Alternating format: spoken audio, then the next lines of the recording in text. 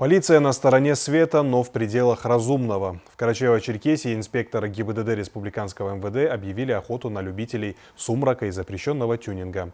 Дополнительные профилактические мероприятия нацелены вывести всех, кто управляет автотранспортом, из тени тонировки, а также создают опасность для остальных участников дорожного движения. Ахмат Халкичев продолжит тему.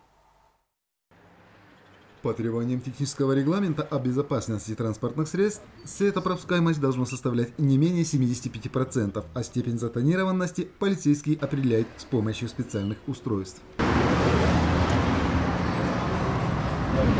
40 Снижение светопропускаемости передних стекол автотранспорта относится к категории грубых нарушений правил. И, как заверяют полицейские, к данной группе нарушителей с их стороны никакого снисхождения быть не может. На уровень безопасности дорожного движения сотрудники госавтоинспекции дают весьма исчерпывающий ответ.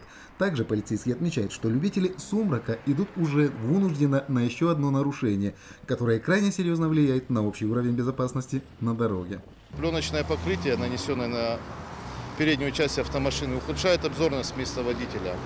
Вследствие чего некоторые водители устанавливают дополнительное световое оборудование гораздо мощнее, чем предусмотрено его э, техническими характеристиками вследствие чего ослепляются водители, которые направляются в попутном движении или во встречном направлении, что может стать причиной дорожно-транспортного происшествия. И вне рейдовых мероприятий инспекторы выявляют любителей оставаться в тени тонированных стекол. За первое нарушение полицейские выписывают штраф в 500 рублей и требования на устранение несоответствия в течение суток.